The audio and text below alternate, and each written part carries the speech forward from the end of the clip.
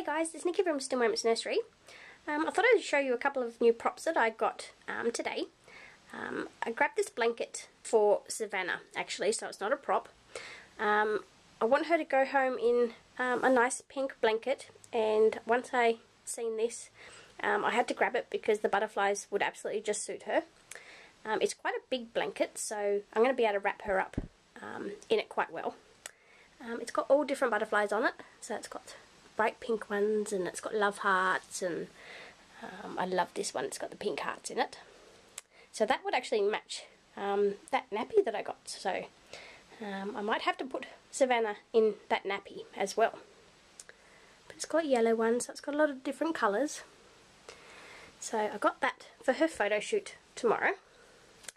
And I also grabbed um, a couple of different flower props because I like to put these um, on the back of the cradle. I just think it looks really pretty when you've sort of got flowers and little vines and things um, in the background. Just sort of adds a little bit of prettiness. And I also grabbed these ones as well with the little leaves. We've actually got these growing out on our fence um, outside, but I thought um, they would look really nice um, weaved inside the cradle and having sort of like these flowers as well sort of beside them sort of poking out but you have to bend them and um, have a play around just to sort of get them into shape but um, I'm going to do that tomorrow.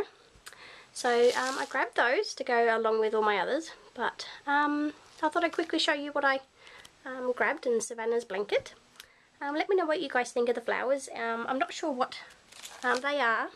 So if you guys know what those flowers are um, let me know in the comments bar because I really would like to know. Um, but yeah guys, um, thanks for watching and keep an eye out for Savannah's um, vlog and SMN um, show um, coming up in, within a few days. Bye guys!